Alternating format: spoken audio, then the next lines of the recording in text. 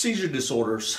So we've seen, uh, oh, I don't know, several hundred patients over the last 25 years with a variety of different seizure disorders, epilepsy. Uh, and uh, what I believe to be the culprit, of course, if you look up, um, you know, if you, it's considered idiopathic if you do research on where do seizures come from because they don't really know. Uh, but it's all electrical energy that travels from the brain through the body, through the nerve system. And it's all electricity, basically, that travels up and down, up and down through the body. As a matter of fact, uh, in this little diagram, you can see we actually use wires to show how the messages are transmitted from the brain to the heart, the liver, the lungs, the kidneys, the arms, the legs. And so it's all electrical energy that travels through there.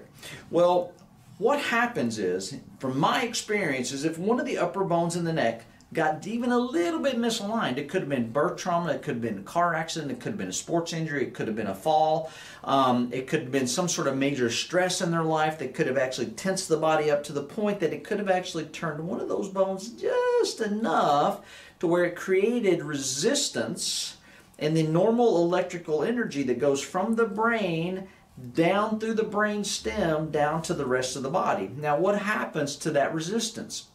Well, the resistance builds up. Okay, it's kind of like going through a uh, electrical circuit or a wire. If you close down on that circuit so that you do not get as much electricity through there, it'll actually build up resistance, and that current can't get through there. So it builds up and builds up and builds up until eventually it short circuits.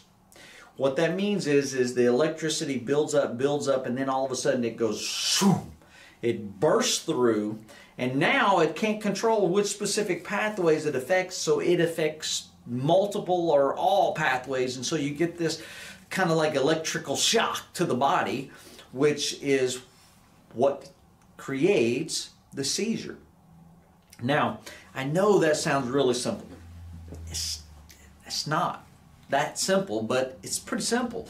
So the thing is, is one thing I can tell you for sure, uh, that seizures do not come from a drug deficiency. So taking your phenobarbital, your Depakote, your you know anticonvulsant medications might numb the problem temporarily, but it's also numbing the rest of the body, right? So if we can figure out the source, the cause of those seizures, and if we can correct it, and then we can allow the normal electric energy that travels from the brain to the body get through there at a normal rate with no resistance, then that electrical energy can't build up and build up and build up until eventually it just shorts everything out, creating that epileptic seizure or, or other types of, of seizures. So this is what I would suggest. Um, going to your neurologist, going to your medical doctor, they're not going to point you in the direction of a actual physical cause creating your seizures. They're not going to say that, hey, maybe the top bone in your neck's out of line and that's creating resistance. Unfortunately, they just don't know that. Okay, they just don't know. Um, what I would suggest you do is find an upper cervical doctor near you. If you have seizures, if you have a family member, a child that has seizures, do yourself a favor and at least go and have this area checked out to see if maybe the cause of those seizures is coming from the top of the neck.